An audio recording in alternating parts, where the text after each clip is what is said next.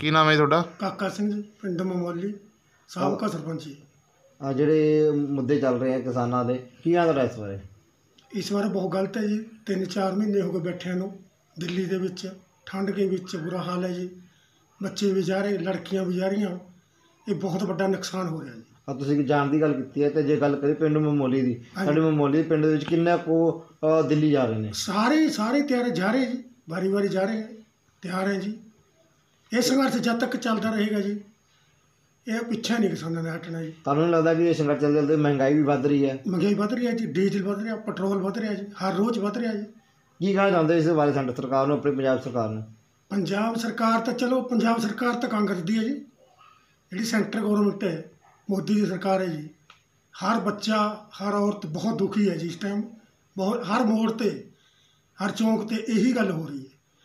ਕੋਈ ਇਹੋ ਜਿਹਾ ਸਮਾਂ ਨਹੀਂ। ਇੱਕ ਮਿੰਟ ਬਾਅਦ ਇਹੀ ਮੋਦੀ ਸਰਕਾਰ ਮੋਦੀ ਦੀ ਸਰਕਾਰ। ਹੁਣ ਜੀ ਬੰਗਾਲ 'ਚ ਚੋਣਾਂ ਹੋਣੀਆਂ ਹੈ ਉੱਥੇ ਵੀ ਇਹੀ ਕਹਿ ਰਹੇ ਵੀ ਕਿਸਾਨ ਜਾਏंगे ਪੂਰਾ ਜ਼ੋਰ ਲਾਵਾਂਗੇ ਸੰਘਰਸ਼ ਕਰਾਂਗੇ ਜੀ ਪੂਰਾ ਕੀ ਉਹ ਬੰਗਾਲ ਜਾ ਕੇ ਤੁਸੀਂ ਕੀ ਕਹਿਣਾ ਚਾਹੁੰਦੇ ਹੋ ਆਪਣੇ ਕੋਲ ਜਿਹੜੇ ਹੁਣ ਇਲੈਕਸ਼ਨ ਚੋਣਾਂ ਆ ਰਹੀਆਂ ਨੇ? ਅਸੀਂ ਇਹ ਕਹਿਣਾ ਚਾਹੁੰਦੇ ਹਾਂ, ਮੋਦੀ ਸਰਕਾਰ ਨੂੰ ਵੋਟ ਨਹੀਂ ਪਾਣੀ ਜੀ। ਕਿਉਂ? ਮੋਦੀ ਨਾ ਆਵੇ। ਕਿਉਂ ਜੀ? ਕਿਉਂ ਮੋਦੀ ਕਰਕੇ ਮਹਿੰਗਾਈ ਬਹੁਤ ਹੋ ਗਈ ਜੀ। ਹਾਂਜੀ। ਸਾਡਾ ਮੇਰਾ ਤਾਂ ਕਹਿਣ ਦਾ ਇਹੀ ਮਤਲਬ ਹੈ ਜੀ ਵੀ ਜਿਹੜੇ ਤਿੰਨ ਕਾਨੂੰਨ ਹੈ ਕਾਲੇ ਕਾਨੂੰਨ ਹੈ ਇਹ ਵਾਪਸ ਲੈਣ ਕਿਸਾਨ ਘਰ ਨੂੰ ਆਣ ਜੀ। ਤਾਂ ਹੀ ਫਾਇਦਾ ਜੀ। ਇਹਨਾਂ ਦੀ ਸਰਕਾਰ ਨਾ ਆਵੇ ਹੋਰ ਕੋਈ ਸਰਕਾਰ ਆ ਜਾਵੇ ਇਹ ਤਾਂ ਦੇਖ ਹੀ ਲਿਆ ਜੀ।